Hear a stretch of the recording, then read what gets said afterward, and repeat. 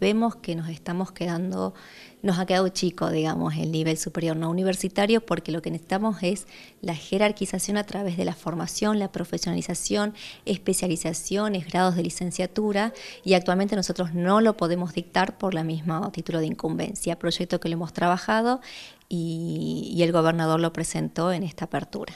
Nosotros lo que buscamos es que sea, o si bien es una institución universitaria provincial, pero con todo lo que tiene que ver acreditaciones de carreras, estatutos y demás regulaciones con, este, con la CONEAU, que es la Comisión Nacional de Evaluación y Acreditación Universitaria, a través del Ministerio de, de Educación de la Nación. Nosotros seguimos apuntando, digamos, como a dos, este, a dos ámbitos, que sería la formación inicial, actualmente como lo estamos trabajando, que son tecnicaturas, en este caso serían tecnicaturas universitarias, y a medida que un, ya sea policía o penitenciario, va haciendo su carrera, ir este, los que actualmente son los cursos obligatorios, ir transformándolos en ciclos de licenciatura, en especializaciones, en posgrados, entonces acompañar la carrera policial o penitenciaria a través de la experiencia, la adquisición eh, de la experiencia con el conocimiento este, universitario.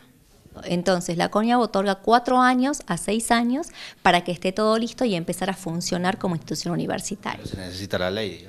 Primero, no podemos hacer nada si no está la ley. Una vez que está la ley y que está aprobado por ley, recién podemos comenzar a trabajarlo.